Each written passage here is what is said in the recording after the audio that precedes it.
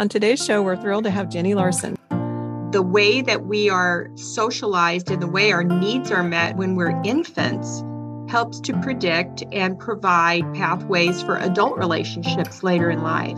There's nothing in the world that's better for you than a good relationship. And there's nothing in this world that's worse for you than a bad one. As a child, when you have attachment injuries and soul wounds from caregivers, you often, as an adult, will fall into unhealthy relationship. Knowing your attachment style and knowing what your needs are emotionally can really help you in terms of partner selection and relationship development so that you don't end up with someone who could even make it worse for you. When people struggle with their relationship with God, a lot of the times it's because they had an insecure attachment style growing up. That's really ultimately why God gave us the biology to be able to connect in the first place, is because He loved us that much that He wants to be close to us and for us to feel secure with Him. Yeah, Definitely. It really is.